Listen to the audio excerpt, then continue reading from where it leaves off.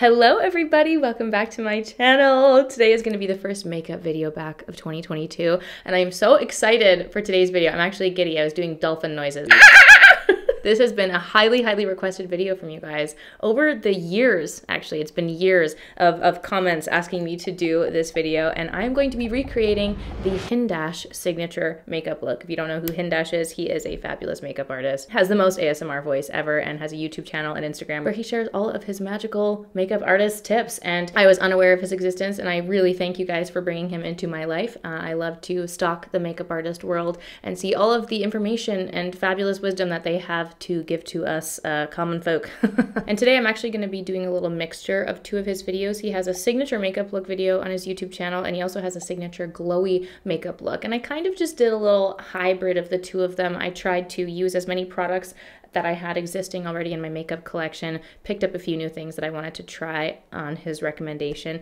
And I will link those two videos, obviously, in the description box down below, as well as his YouTube channel in general. And I'm really excited to play and attempt the makeup look on my face today. So if you like these videos and want me to continue doing makeup artist recreations, please do give it a big thumbs up and subscribe to my channel if you want to see more videos from me. Turn on the notification bell to be notified when I upload new videos in the new year. And my friends, without further ado, let us zoom in and begin. I just wanted to say that I have done my eyebrows before this, and there is a reason, and I do have an eyebrow update for you coming on Monday. So if you wanted to know the tragedy that hath befallen my eyebrow update, uh, stay tuned for Monday's vlog. So let us begin. I'm obviously going to be starting with the base. Actually, that's not obvious because between the two, he starts with the eyes in one video and he starts with the face in another video. And like I said, I'm kind of marrying the two together. So I am going to start with my base because I was particularly fond of the, the routine he had in the one video. So in the two videos, he uses one of these, the Embryolisse Lait Crème Concentrate. Do you know how many people have sent me voice notes on how to say this? He uses this product. Uh, and then he also uses the Bobbi Brown Vitamin Enriched Face Base, which I actually, I don't think I updated you guys, but I had used up an entire one of these and I didn't actually have it in my collection. So I wanted to pick up a fresh one because I love this one so much. And if you've watched my channel, you'll know how much I love it. And when he used this, he did a hyaluronic serum, which I actually put the serum on already. And then he went in with this and he said it's a moisturizer and a primer in one. So that's what I'm going to be starting with. He just did a good, like a big chunk of this all over the face and also the neck, which I appreciated. And I'm just going to blend that into my skin and start it out. I love makeup artist makeup so much. I feel like it's really in line with how I like to do my makeup, which is like the most natural glowing skin, nice and light and beautiful red carpet and smoky on the eyes. And yeah, I think his makeup looks are just really beautiful and, and doable for the everyday soul. And uh, I am definitely drawn to how he does his makeup. So I'm putting a nice thick layer of that. God, it feels so good. I forgot how magical this was. It has been a while since I've used it. I'm just gonna do another little layer of that. It is so glowy, so delicious and a beautiful start to our base. Now, one of the products that so many people, like influencers and makeup artists alike, use, and it's a product that I've just avoided. They actually have the Banana Bright primer as well. I don't know why. Anyway, I was definitely compelled to use this because so many people talk about it. It's the Ole Henriksen Banana Bright Eye Cream there's a lot of conflicting opinions around eye cream and whether or not it's something that is worth your while or if it's just a, a, marketing scheme. A lot of like dermatologists and skin people say that you can just use your regular face cream, and then there's a lot of people who are on the side of eye cream. Now, when it comes to like makeup artists using an eye cream, um, a lot of them comment on the fact that it just really helps to prep the under eye area for makeup. It helps to avoid the, the creasing and the cakiness under the eyes. And so I think that's something that I am really, really lazy about in my skincare routine is the eye cream. But when it comes to doing makeup, I feel like it's something that I just need to actually pay attention to more in my makeup routine and, and do the eye cream. So this one feels great. I've actually been using it for the last couple days while I've been getting ready and uh, it sits very nicely under makeup. So I'm thrilled to do that today. Now the next step he does is putting like a highlighting product underneath the foundation and he actually used a NARS Radiant something booster which doesn't appear to exist anymore that particular product but I do have the NARS tinted glow booster which seems to give a similar effect. So that's what I'm going to start with instead. So I'm taking a pump of this. I have this in the shade Calvoya Light. Just taking some of that into the palm of my hand. And he basically just used this on the high points of the face to like pre-highlight, even though we later go in with highlighting things. You just put that around whoop, on top of the cheekbones.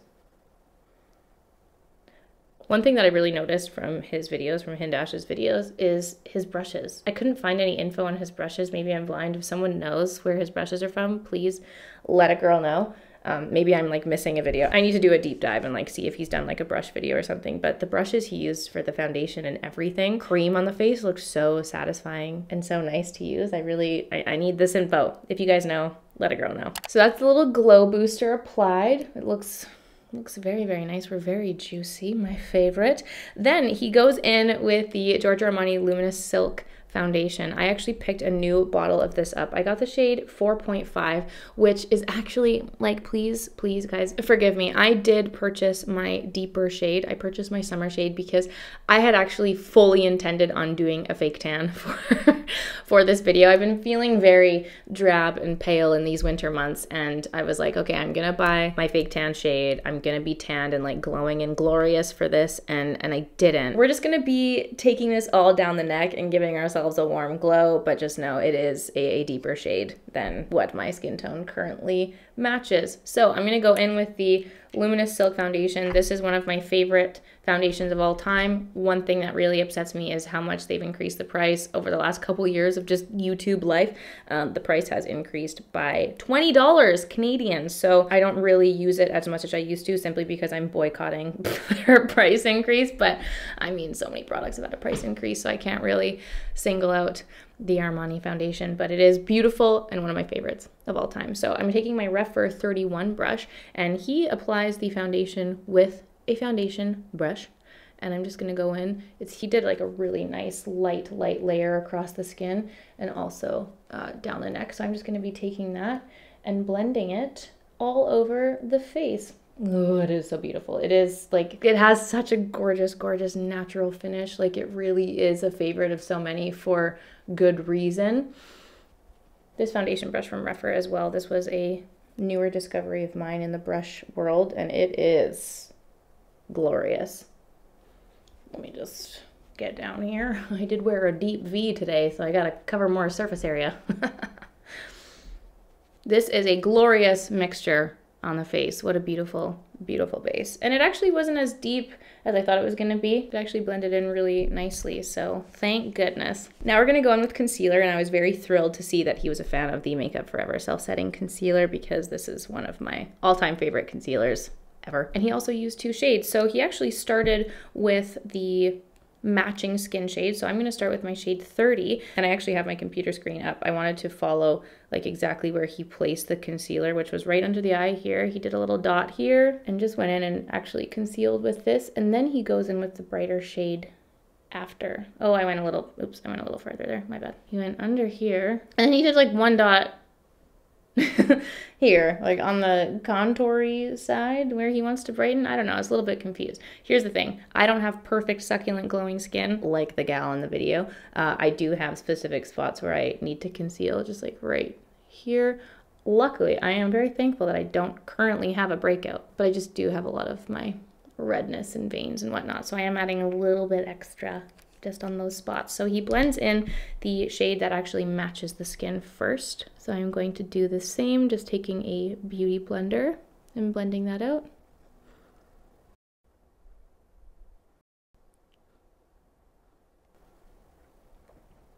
I'm just taking a little bit of that excess and just patting it onto the eyelids. And then that is the base shade blended out. And then he goes in with the lighter shade. This one for me is the shade 22. And he just takes this one down the center of the nose. Ooh, I can't do a straight line. he did little dots just right on the under eye here, around the nose, and just a little bit on the chin. Okay, cool. There's the lighter shade. Also going to blend that out.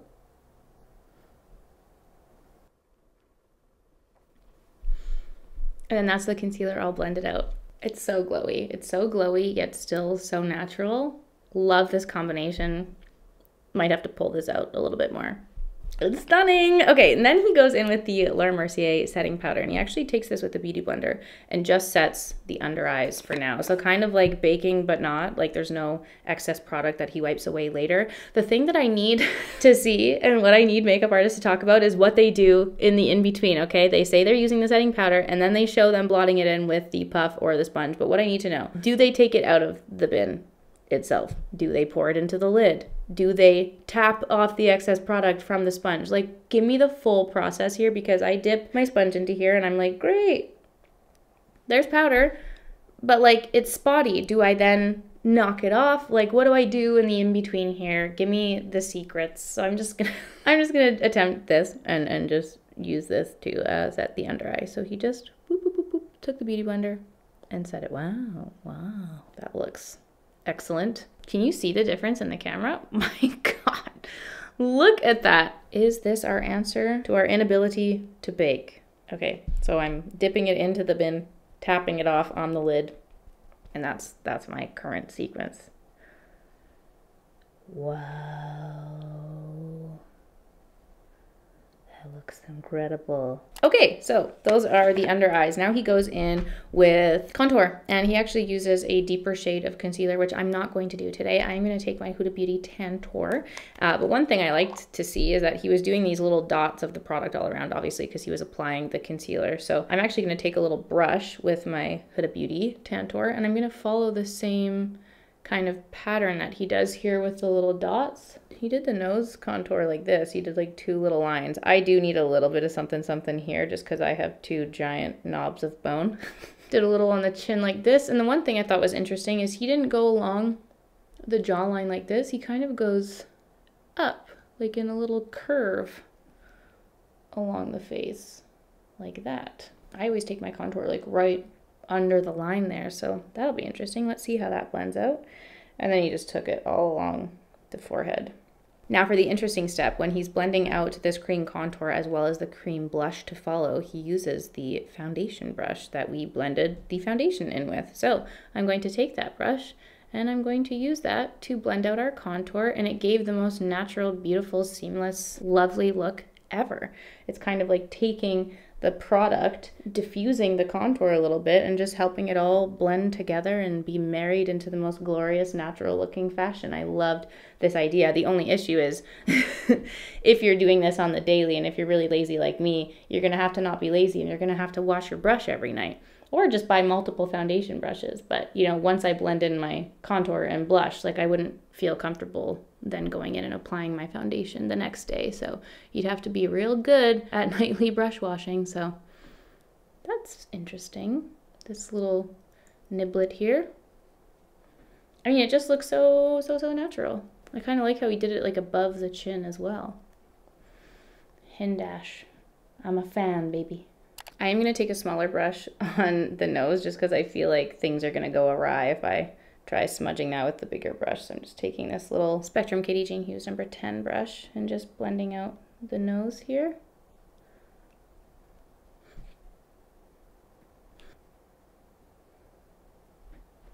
That looks absolutely fabulous. What a flawless, flawless base. I love that method. Super fun. I think it looks great. So next he actually uses the Nudestix Sunset Strip blush and he also applies this with the foundation brush. Now I will note that he the, the foundation brush he's using is a lot smaller and not as wide of a surface area as this Rephr one. So I'm just going to be a little bit more sparing and just kind of use the tips of this. But I haven't used Sunset Strip in such a long time. This was one of my favorite blushes for sure. Such a gorgeous color. I'm just going to dip my foundation brush right into there and apply the blush onto my cheeks so natural. So, so natural. This looks great. He also uses like more blush and highlights later, like really layers up the cream and the powder for all of the products. So that'll be fun to see.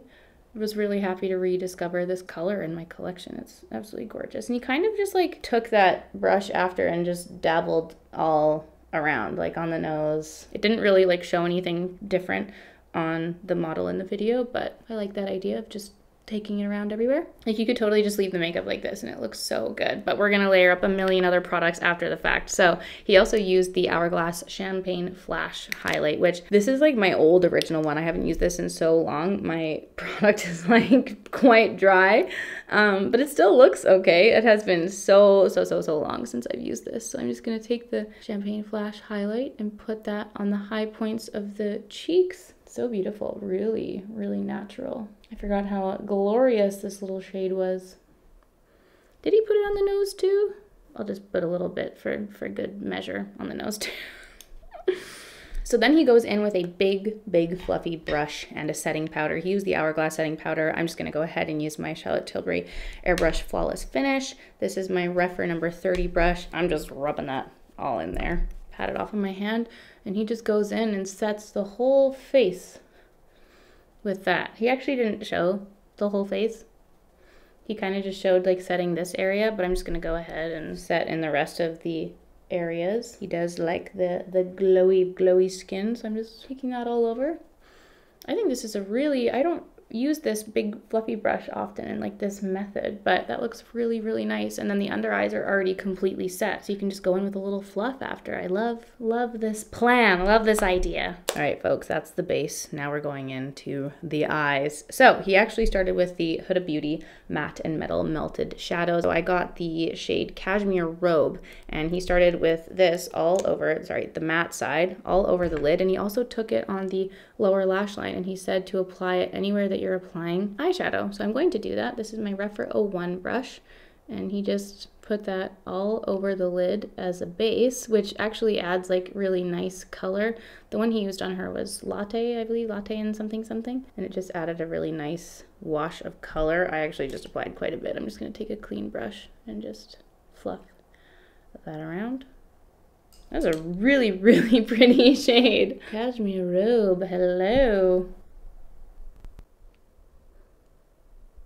This is like very, very pigmented and there's a lot of product on the actual brush. So I'm trying to be a little bit sparing with it, but a little bit is going a long, long way with this. Just blending that out on the lower lash line, which I love, love how that looks. Like I would put mascara on and be done with this. This is a look all in itself. A one and done eyeshadow, if you will. Such a pretty color. Absolutely love it. I love that it's not too warm and it's not too cool. It's a perfect in between. That is so, so nice. okay, so now is where the fun begins. I was actually really excited to discover this. He said, like, one of his favorite products across the board. He uses it in a ton of his videos, and he also mentioned it in a few interviews that I looked up, uh, is the NARS Mambo Longwear Eyeliner. And it's like a very, very warm, warm brown. Um, I am a little bit concerned. Mine was not sharpening well. It's also very, very creamy. so I'm to try my best to play with this. And so he starts off by applying this onto the lash line and then taking it out into quite a point. In one of the videos, he just leaves this as a winged liner. The other one, he kind of like blends it into the crease. I'm gonna start with this, see how I feel, see if I mess anything up, but I'm gonna try and do the little point here. He applies it from the actual product itself, and then he goes in with a little brush and blends it out and kind of finesses the finer point. This is the Katie Jane Hughes number 21 brush, so I'm just gonna blend that and try and bring our little flicky flick out. It's showing up like quite purpley on me, honestly. Like from here, looking at my little hand mirror, it looks like a purple liner. It looks much more brown in his videos. I wonder if I just got an old one because it's just, it's a little bit, like it's creamy, but it's also kind of chunky too and blending it out. Just diffusing that across the lash line.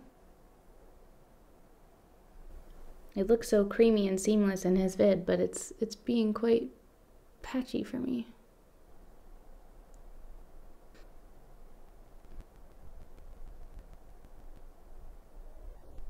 He also uses this liner to tight line. So I'm just gonna run that uh, uh, along my inner waterline yeah, I don't know. Final thoughts on this in this moment. I think I must have just got uh, maybe an old one. Maybe I got an old batch in my order, but it's it's quite patchy. It was a little bit difficult to blend out, and um, I don't know. It looks like completely purple on my eyes. It does not look brown like it does.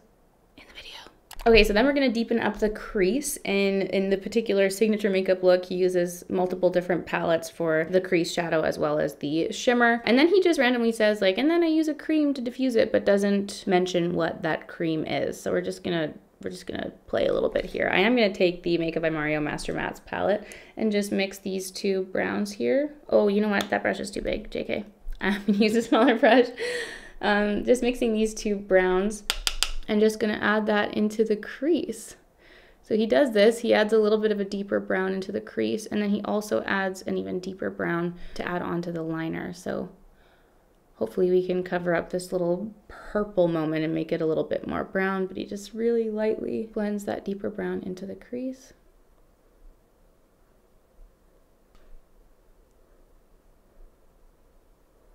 And then I'm gonna take a smaller little brush here, take that in the brown and just press that onto the liner. And he kind of just like diffuses it into the crease. This is very much in line with my everyday eye makeup and giving it a little enhancement. I absolutely love this, just blending out a liner and really giving it that soft, soft, smoky look. Love it.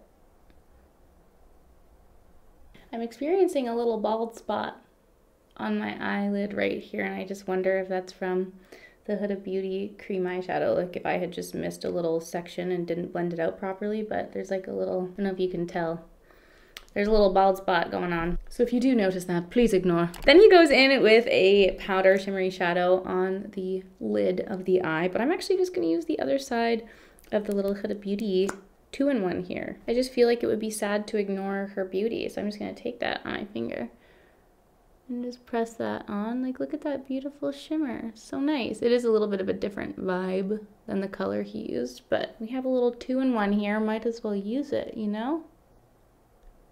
Then we're going to take a small brush and just take a little bit of that brown and put it right, he, he just appeared to put it like right on the outer bit of the lower lash line. Now the liner has gone all over my waterline. I wonder if it was meant to go on the lower one. Yeah.